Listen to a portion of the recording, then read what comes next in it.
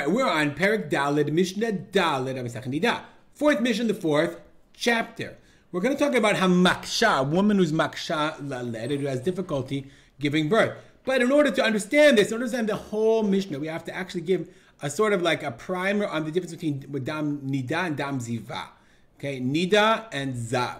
So in order to do this, let's go back to our psukim. So we learned in Vayikra Perik Ted Vav that there was something called Dam Nida. Dam Yezova Bibsara, Dam Zova, and it's a little complicated because the word Lazuv means to flow. So if she flows blood, but it's Benidata in the time of her Nida.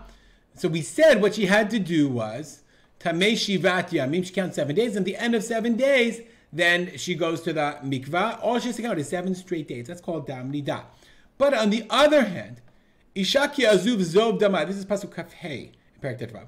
If her blood flows many days, below et nidita, not at the time of her nidut, oki dazov al nidita, or beyond her times of nida, ko yemei zov tumata, all this time of zov tumata, ki me nidata tiyet Then it's like her dam her nida, but there are other halacha. We're skipping, skipping, skipping because we're not going to go. It's beyond the purview of this mishnah. V'im tahara mizova what she wants to become tahor. V'safra shivam yamim ve'achar She has to count seven days, and then she has to be tahora. So the, one of the big, big differences between nida and ziva is a nida. Let's we're going to skip down. I made I have, have a chart for you. Woman who's in nida, marked in the pink. Right, she sees dam on day one, or day two, or day three. It doesn't matter. All seven, all six days or seven days. At the end of the seven days, she because if she's clean and she can examine herself and is clean, she can go to the mikvah that night, the the seventh day. That's she doesn't have to have a shiva and a kiyim. But if she's a zava, we'll see how does she become a zava. If she becomes a zava, if the, if she the, the, flow continues, as soon as she finishes dam ziva, she has to count seven clean days. It's called shiva and kiyim.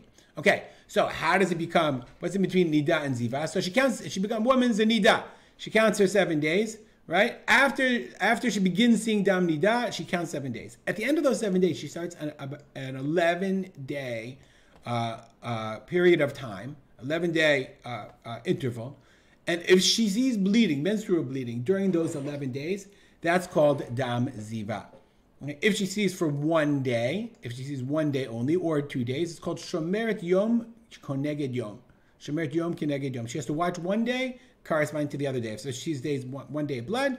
Oh, she has to have one clean day, and then she can go to the mikvah. Okay, tovelet, and she's okay. But and she can eat kachim. But if she sees three days straight, then she's what's called zava gemura. That's the zava the Torah. She has to count shiva anakim. She has to go to the mikvah on the seventh day, and she has to bring korbanot. That's zava gedola, zava gemura, and it's a very very serious thing, especially the time of Beit Hamikdash, that she'd have to bring specifically korbanot. How do you count this, these these uh, these seven and eleven days? So this is just according to the Ramban. The Ramban is a whole different thing. Very very complicated. We're not going to go into it. But according to the Ramban, as we said, she counts as seven days, and then she counts an eleven day period. She counts during these eleven days if she sees blood. Okay, three straight days. Then she's a zava gemura. But uh, if she doesn't see blood or whatever, or she's not a zava gemura, then, as soon as that stops and the 11 days are over, then the next time she sees blood, the next time, doesn't have to start here, she can count, start one, two, doesn't matter. The next time she sees blood, whenever it is, let's say, for example, she sees a few days later, then you could she starts counting her nida right over there. We're to just undo that just so it's not complicated the next time I want to use it. Okay, with that in mind, now we can understand our Mishnah. Says the Mishnah, Hamaksha. Let's say a woman has is has starts bleeding in the middle of childbirth.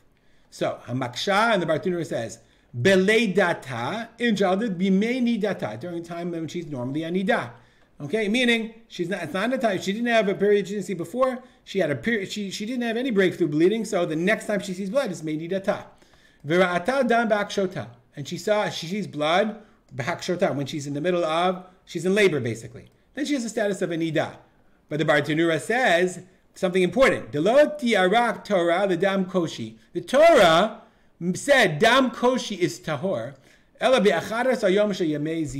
Remember we said that 11 day period. If she's in yamei ziva, the tahora says we learn that from the psukim, and she starts to give goes into labor, she's Torah, nothing. If she sees goes to labor yamei nida, then hamaksha is nida. Okay, but remember we said that let's say she's in nida. She's I'm sorry in yamei ziva. So, kishtash losha yamim betoch achadas yom. She's in the 11 days of Yemei Ziva, and she now kishta, she now sees she's in labor, poor girl, she's in labor for three days straight, and she's bleeding three days straight during those 11 days. Okay, so we'd say, we normally say, that's fine, we know, since it's because of childbirth, we just said, she's Tahara, but Veshafta me'et le'et. Then her labor pains took a break, okay, and she no longer, she, her, her labor stopped. Me'et le'et for 24 hours, and then V'yalda, and then she gave birth. Says the Mishnah, Rezo Yoledet Bezov. She announced the status of a Zava. Oh, you said, you said that if we said that if uh, if she has three days straight of bleeding during the Ziva because of labor. No, because since this she had a whole break of a whole day, since she had a whole day in between, that showed you that these three days of bleeding were not because of labor. Because if it was because of labor, she would have given birth. So therefore, since she had a break of a day, therefore she became a zava. This bleeding was yemei ziva. She became a zava, and she's yoledet bezov. She's a zava, and she gave birth bezov, and now she has to, you know, bring a korban and all that other stuff. Divi Rabbi Lezer. Rabbi Yeshua, Rabbi Yeshua says, no, not le'et le'et. Laila v'yom. It can't just be 24 hours, like from 3 p.m. one day to 3 p.m. the next day. It's got to be the evening from 5 p.m. the evening till night, v'yom, and the entire next day. Kilele Shabbat v'yomo, just like the evening of Shabbat and a, and a whole day. Less than that, if it's just made eight eight, that's not considered enough of a shafta, enough of a break. And therefore, since she didn't have enough of a break, therefore it was considered that she didn't have a break, and the and the birth pains and the bleeding was from the birth, and she's tahora. And when we say sheshafta min hatzar, min sheshafta, when we say that she had a break, it's min hatzar v'lo min adam. She doesn't have to stop bleeding in the middle of her 24 hours or laila vayom. Rather, she can still consider to bleed, but if her labor pains stop, then that's considered the a break, and therefore it's considered that her bleeding from before was yemei ziva, was dam ziva. All right, look, again, these Mishnah are pretty complicated. Uh, I hope I explained them clearly. We'll stop here, dedicate our learning to Rabbi, my father, Rav Simcha ben Yitzchak Kalman. Make it a great day.